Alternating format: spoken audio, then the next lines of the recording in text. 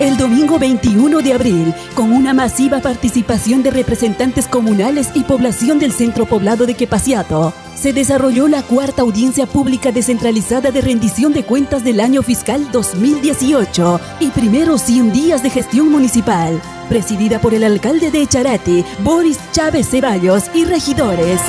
Las autoridades resaltaron las obras en continuidad que viene ejecutando en Quepaciato Dentro de ellas, la trocha carrozable Aguas Calientes y Camino Vecinal Puyentimar y Generación.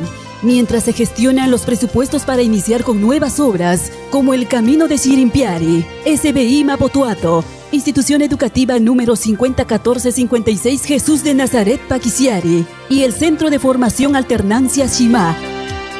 En la parte agropecuaria, nosotros queremos que nuestros productos bandera, siempre, el producto bandera tiene que ser los, los cafés especiales y el cacao chuncho, porque con estas dos marcas, hermanos, tenemos que trascender. Sabemos que el manejo del cacao es bien fácil, entonces por eso nosotros queremos industrializar nuestros productos, que no solo lleguen al mercado local, regional, sino que trasciendan, no solo a la capital, en, otros en otros países, así como en Corea del Sur estamos haciendo convenios también para que muchos beneficiarios de aquí de la zona puedan involucrarse así como Alto Mayo y así como en Echarati, debemos tener la capacidad de fomentar y generar también plantas de beneficio, industrializar para que nuestros productos se vendan en otros países, ¿no? así como en Corea del Sur. Eh, en nuestro distrito todavía hay el 40% la carencia de, de desnutrición, anemia, por eso también por el momento nosotros a cuatro años tenemos que reducir ese índice, hermanos, esa tasa. Por, ello también Malanquiato, que es un centro de producción que queda en Imochote, se está reflotando.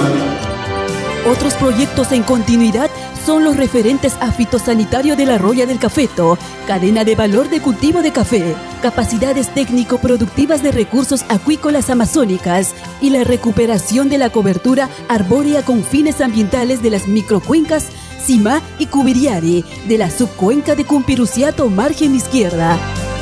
Para mí, estos 100 días de trabajo estamos, estamos viendo, ¿no? O sea, lo que se está empezando, lo que el señor alcalde de repente está haciendo una revolución, ¿no? Y para mí es saludable y que los señores alcaldes también, y nosotros también estaremos apoyando también todo este, toda esta gestión.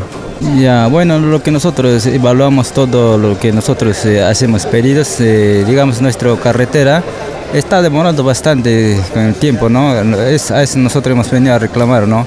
Porque nosotros tenemos derecho a reclamar para que, sobre nuestra vía de comunicación, ¿no?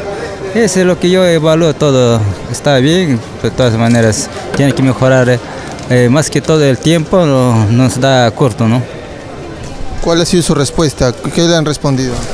Bueno, la respuesta nos dijo para 2020, ¿no? Decimos ejecutar la, la obra nuestro pedido, ¿no? ¿Cuáles son tus recomendaciones que darías a la gestión? Bien, yo quisiera la gestión unirse todos, todos, ¿no? Aquí ha, muerto ya el, color político, regidores, el alcalde, el pueblo, las autoridades, tanto alcaldes, centros de poblados, en general.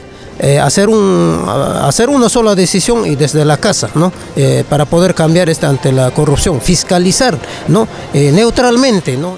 Y felicitamos de esa parte a todos los señores regidores, creo que han cambiado de verso esta vez, que se han dedicado a ponernos lo, que falta, ¿no? lo que falta acá en todos estos pueblos. Ya no, ya no ha habido quejas personales y esperamos que sea en adelante, sea así esa coordinación que haya entre el señor alcalde y los señores regidores. Son 82 proyectos sin liquidar y 7 obras paralizadas las que se pudieron encontrar. Sumado a ello, 12 maquinarias pesadas del que solo 3 se encuentra operativo, 8 en reparación y 3 inoperativo. Sin embargo, la actual gestión municipal viene ejecutando 8 proyectos en continuidad y 7 nuevos a través de las distintas gerencias.